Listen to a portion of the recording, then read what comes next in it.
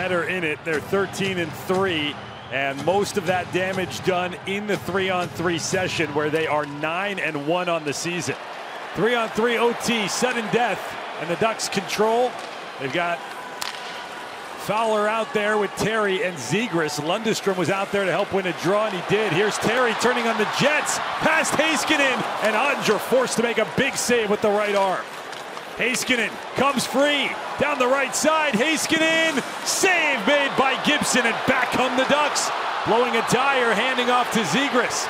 Would have been a clean two on one, but Terry fell down. So Zegras is content to walk back out. Quite the opening half minute of overtime. The chip, Terry right side. He's got Drysdale, but it's broken up by Heiskanen. Long pass for Benn. Jamie Benn has a step. He scores! The captain is the hero in Anaheim. The Stars take both games in SoCal and win it 3 to 2. Can you imagine? It's a broken play at one end that leads to a golden chance at the other.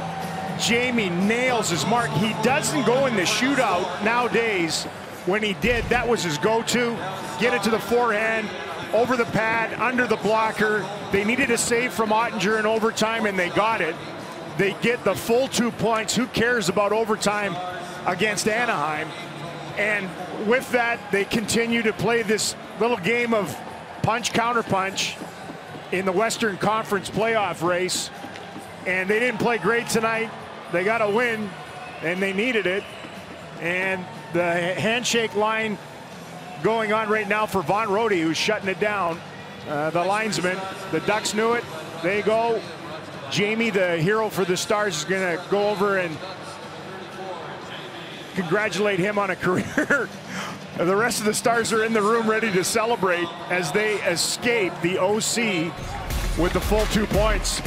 So the Stars get the win, leap back over Vegas, now one point in front of them with three games in hand for the final playoff spot out west.